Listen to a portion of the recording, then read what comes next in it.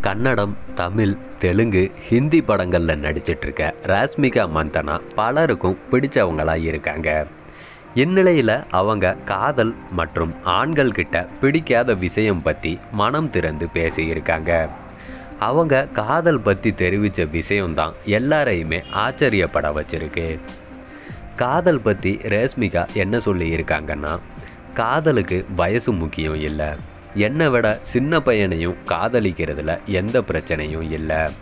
நம்ம காதலிக்கிற நபர் நம்மளை அப்படியே ஏற்றுக்கணும் நம்மளை மாற்றணும்னு முயற்சி பண்ணக்கூடாதுன்னு சொல்லியிருக்காங்க. ஆண்கள் சட்டை இல்லாமல் புகைப்படம் வெளியிடுறது எனக்கு சுத்தமாக பிடிக்காது.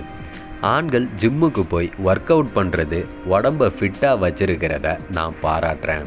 ஆனால் சட்டை இல்லாமல் புகைப்படம் எடுத்து ப்ரொஃபைல் பிக்சராக வைக்கிறது தான் பிடிக்கலன்னு ரேஷ்மிகா தெரிவிச்சிருக்காங்க.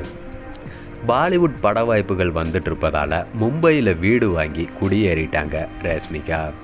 அவங்களுக்கு துணையாக நாய்க்குட்டி ஆராவும் இருக்குது அடிக்கடி ஆரா கூட சேர்ந்து புகைப்படம் எடுத்து அதை சமூக வலைதளங்களில் வெளியிட்டுருக்காங்க ரேஷ்மிகா.